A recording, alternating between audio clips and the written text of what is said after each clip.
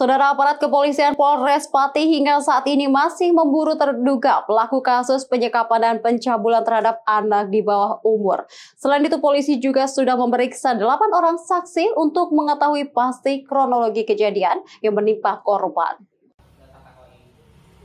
PH terduga pelaku kasus penyekapan dan pencabulan terhadap anak di bawah umur warga desa Alasdowo, Kecamatan Duku Soti. Terduga pelaku pencabulan dan penyekapan anak di bawah umur di Pati hingga saat ini masih buron. Polisi masih terus mengejar pelaku yang diduga melarikan diri dan sembunyi keluar daerah. Selain itu, untuk mengungkap lebih dalam kasus tersebut, polisi sudah memeriksa delapan orang saksi, baik tetangga, pelaku maupun keluarga korban.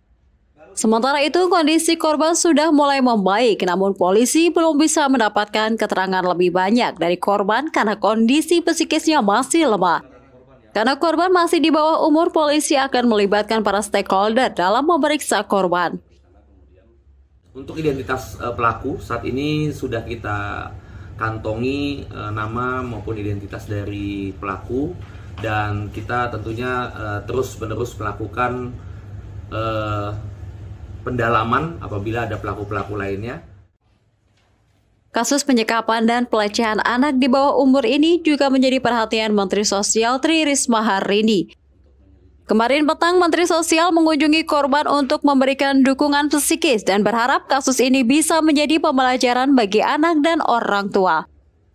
Iwan Miftahudin, Kompas TV, Pati.